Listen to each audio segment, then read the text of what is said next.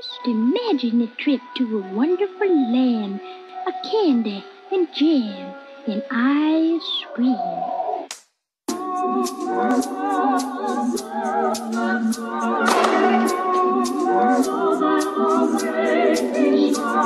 gotta hit that.